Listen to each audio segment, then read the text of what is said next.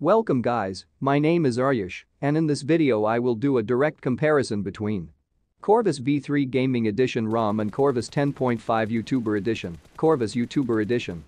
Used to be a paid ROM, that's why I was not able to compare it with Corvus V3 before but now it's available for free. In this comparison test, I will talk about special features of ROM, their performance, gaming review, touch, battery etc. Now let's begin this video by talking about ROM features, starting with Corvus V3, This ROM is modded from Corvus 3.5 official build and comes with Optimus Drunk kernel as stock kernel. This ROM also used to be a paid ROM. Its price was around half a dollar. It was modded by DT for extreme gaming. Only issue I found in this ROM is it doesn't have face unlock and safety net is little. Difficult to pass, now talking about Corvus YouTuber Edition, this ROM is modded from Corvus 10.5 and comes with Silvercore kernel as stock kernel, but this ROM comes with a lot more features than V3, like it has modded firmware and GPU drivers, and it has Razer Phone 2 vendor for extreme performance, and it has in-built Cobra thermals, the price of this ROM is used to be around $2, but now it's available for free, it was built by Mr. Rex for hardcore gaming, and it also has Face Unlock plus Safety Net Pass, so an overall ROM. Corvus YouTuber Edition win. Now talking about performance, starting with Corvus YouTuber Edition, the kernel I used.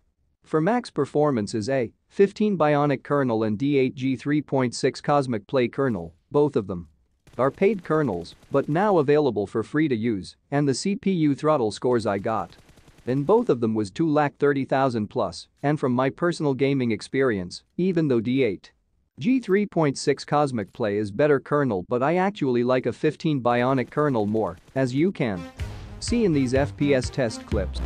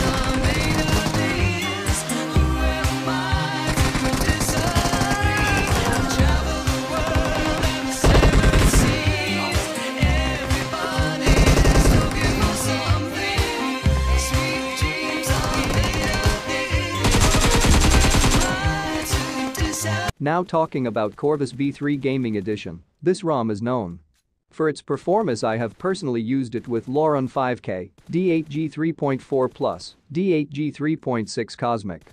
Play, kernels, I got max performance with D8G kernels, around 2,25,000 plus CPU. Throttle scores, and as you can see in this FPS test, its in-game performance is pretty good.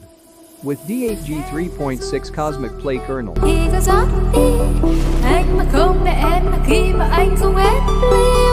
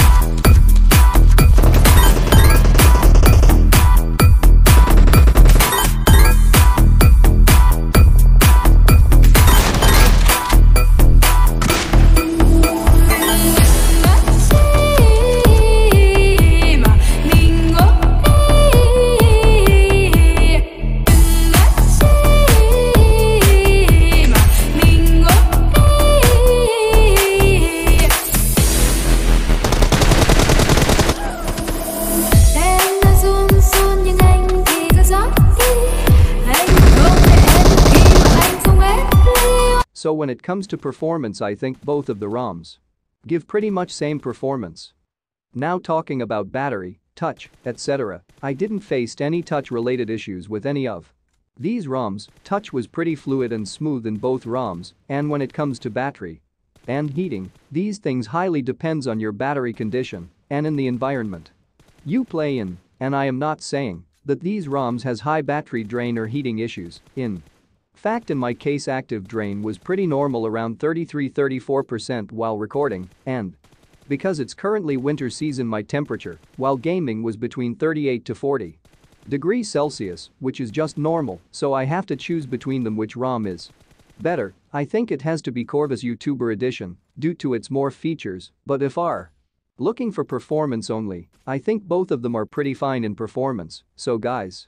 I hope you liked this video, my next video is going to be about my personal gaming ROM that I am building with the help from Mr. Rex. This ROM is built for hardcore gamers who likes to game for 6 to 8 hours per day and it's built for extreme performance with my choice of kernel and thermals and I will release this ROM at 1k subs so make sure to like this video and subscribe to my channel.